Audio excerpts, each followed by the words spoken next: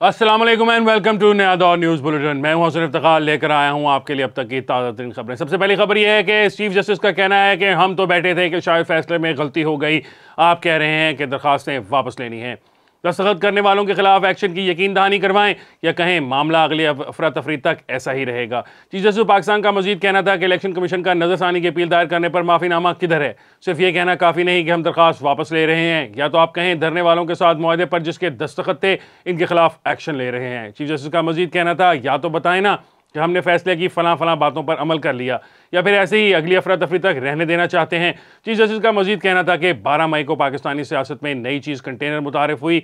M Q M आज हमारे यहाँ सामने आई ही नहीं। एम क्यू एम के एक वज़ीर थे, आज इनकी तरफ़ से कोई नहीं आया। उन्होंने कहा कि इस धरने के बाद कई और ऐसे वाक़ात सामने आए। अगर इस वक्त इस फैसले पर अमल होता तो बाद में संगीन वाक़ात न होते। हम फैसले में दी गई सतारह हदायत पर अमल से सही सिमत में चलेंगे। चीफ जस्टिस का मजीद कहना था कि आप लोगों ने फैसले को आज सच मान लिया है। अब आपका इम्तहान है कि आप साथ देते हैं मुस्तबिल में या नहीं। अगली खबर यह है कि पी आई ए शदीद माली मुश्किल का शिकार खसारा सात सौ तिरतालीस अरब रुपये से तजावज़ कर गया। हुकूमत दो अलग अलग इदारों के क्याम पर गौर कर रही है, एक बुनियादी सरगर्मियों के लिए और दूसरा तबई असाजात की देखभाल के लिए, जबकि तमाम बकायाजात की पार्किंग एक होल्डिंग कंपनी के क्याम के ज़रिए की जाएगी। पीआई का मजबूरी खसारा सात सौ तिहत्तर अरब रुपए से तजावज़ कर गया है, जिसके बायस बहुत से अंदरूनी जराये का कहना है कि एफ़ बी आर को वाजबुल अदा पचास अरब रुपए की टैक्स वाजिबात इस मजमू खसारे की रकम में शामिल नहीं किए गए।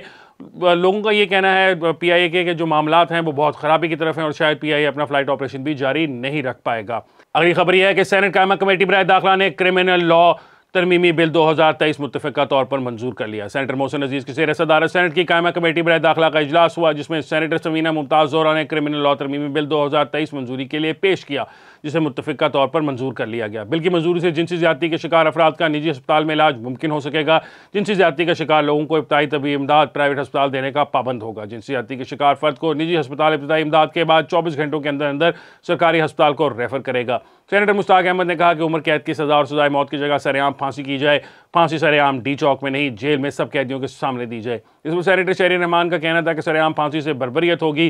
जिन माशरों में ऐसी सरेआम फांसियाँ हुई हैं, वहाँ भी जराइम में कमी नहीं आई। अगली खबर यह है कि मुल्क भर में जश्न ईद मिलादुलनबी सल्लल्लाहु अलैहि वसल्लम की तैयारियाँ अरूज पर हैं। गलियाँ बाज़ार सज गए।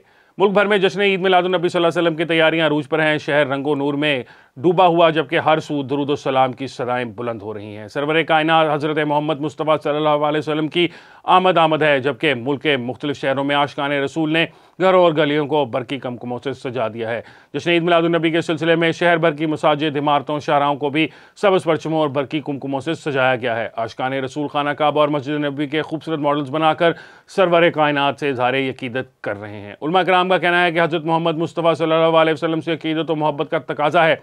कि आप वसल्लम की सीरत तयबा का महज ज़िक्र ही ना किया जाए, बल्कि आप वसल्लम की तालीमत पर अमल करके ही इंसान दुनिया और आखिरत में सुरखरू हो सकता है।